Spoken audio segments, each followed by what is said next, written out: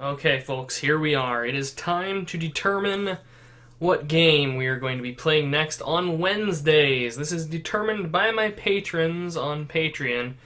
And the way we're doing this is dependent on the number of votes a game has. As long as it has at least one vote, I'm rolling 1d100 plus 5 for it, and various patrons have various numbers of votes and so on. So this is what the final uh, countdown, I suppose, the, the final tally ended up resulting in, were Crysis, Deus Ex, Hard Reset, and The Witcher. So what I'm going to do here is generate a number between 1 and 100 for each game, add 5, and whatever's got the highest number wins. In the case of a tie, for highest, those two will roll against each other until one of them comes out higher, and then that will be what I play. So we're just going to go ahead and get right to this, and we're going to start. I'm going to go top to bottom here.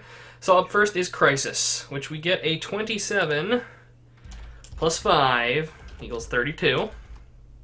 Okay. Deus Ex, a 63 plus 5 equals 68.